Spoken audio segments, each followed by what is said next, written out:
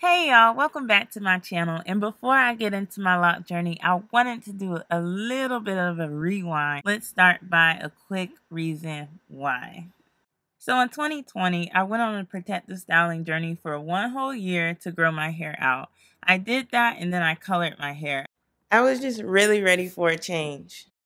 But a year later, almost not even, this is how my hair looked. Let me show you how my hair looked when I started my natural hair journey in 2015. Don't get me wrong, I loved the five year journey, all the styles and fun that I had, but I wanted a change. And not necessarily that I wanted my hair longer, but I just needed a change. So I was about to get a cute, curly pixie cut, but then my husband came to me and was like, maybe you should try locking your hair. So I was like, you know, I've worn styles like this before, and then I found Instant Locs. And so I made an appointment and everything for Instant Locs after doing so much research. And so I was so ready to get Instant Locs. But then the loctician canceled on me. So at that point, I was like, you know what? I'm ready. I'm starting this loc journey. I will just do it myself. And if you've been following me up until this point on my YouTube journey, you know that I did it myself, but then I got it redone like a week later. All right, y'all, enjoy the video.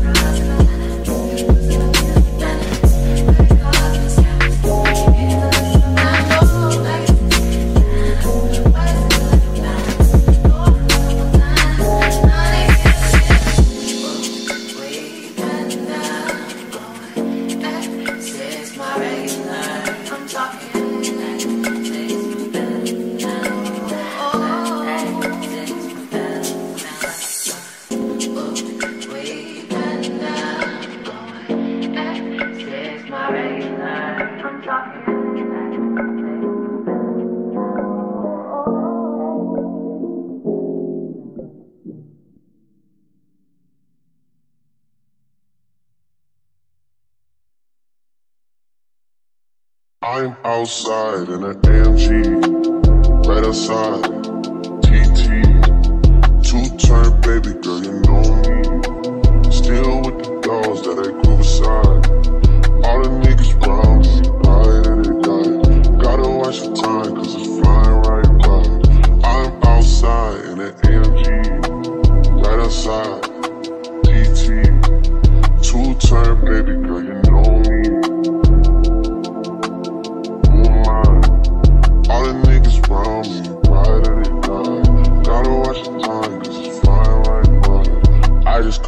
Shorty have a famous.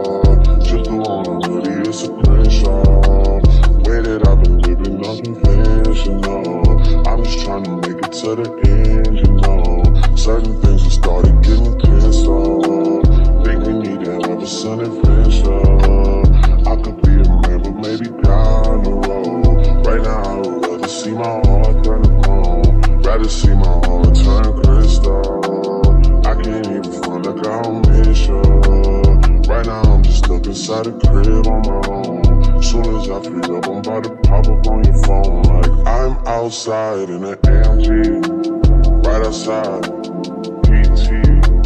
Two turn, baby girl, you know me. Who am I? All the niggas me, right and die. Gotta watch your time, cause it's flying right by. Two turn, baby girl, you know me.